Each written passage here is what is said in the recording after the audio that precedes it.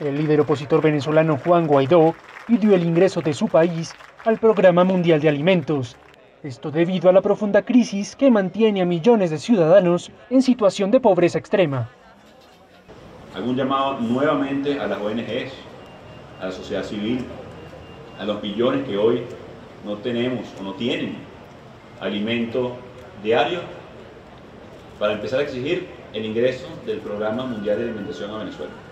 En la rueda de prensa cumplida este miércoles y respaldado por varios activistas de los partidos políticos que le respaldan, Guaidó subrayó que a cualquier venezolano le preocupa más el hambre que la COVID-19.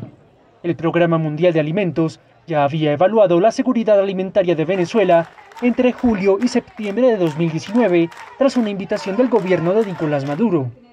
Allí encontró que 7,9% de la población en Venezuela está en inseguridad alimentaria severa y un 24,4% está en inseguridad alimentaria moderada. Así se pudo establecer que una de cada tres personas en el país está en inseguridad alimentaria y necesita asistencia.